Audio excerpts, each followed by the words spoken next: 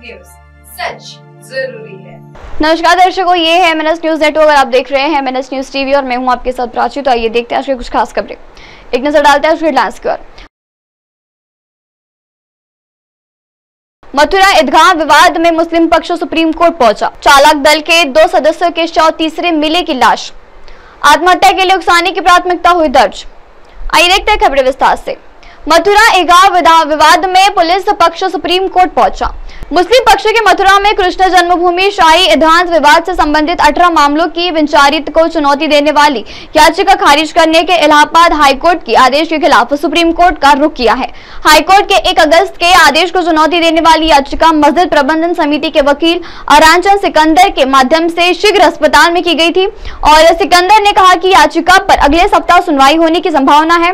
High court के एक अगस्त को मथुरा में मस्जिद और मंदिर विवाद के संबंधन में अठारह मामले विचारित को चुनौती देने वाली पुलिस पक्ष की याचिका को खारिज कर दिया गया था। आइए बढ़ते अगली खबर की ओर। चालक दल के दो सदस्यों के शव तीसरे की हुई तलाश जारी।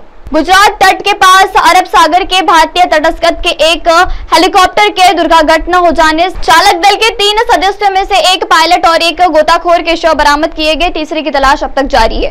तटस्थ के प्रवर्तक अमित उनियालन के कहा है कि कमांडमेंट में यूपिन बाबू और गोताखोर करण सिंह के शव मंगलवार रात को बरामद किए गए, जबकि अन्य पायलट राकेश राणा की तलाश जारी है। आइए बढ़ते अगली खबर की ओर। आत्महत्या के लिए उकसाने की प्राथमिकता हुई दर्ज। दिल्ली में पुलिस के एनजीएल साइकिल्स के पूर्व अध्यक्ष सलील कुमार की मौत के मामले में आत्महत्या के लिए उकसाने के तहत प्राथमिकता दर्ज कराई गई। एक अधिकारी ने बताया कि बुधवार को यह जानकारी दी गई।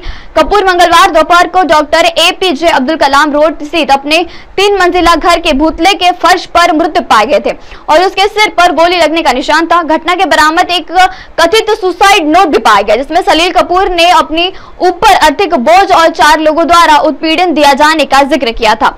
एक अधिकारी के अनुसार सुसाइड नोट के जिन चार लोगों का नाम है, उनके खिलाफ तुकल्द रोड पुलिस स्टेशन में मामला दर्ज किया गया और साथ ही धारा 108 आत्महत्या के लिए उकसाने की धारा के साथ मामले दर्ज किए गए। अब आप हमारे न्यूज़ चैनल को अपने मोबाइल ऐप पे भी देख सकते हैं। मोबाइल ऐप पे देखने के लिए प्ले स्टोर से MNS news TV app download करें। इंस्टा हाई ट्विटर कुक और फेसबुक जैसे कई सोशल मीडिया प्लेटफॉर्म पर हमारा चैनल उपलब्ध है। आप इसे यूट्यूब पर भी देख सकते हैं। आप इसे यूट्यूब लाइव भी देख सकते हैं।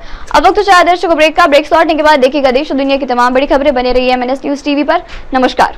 हाय, मैं हूँ तापसी पन्नू और आप देख रहे हैं एम एन एस न्यूज़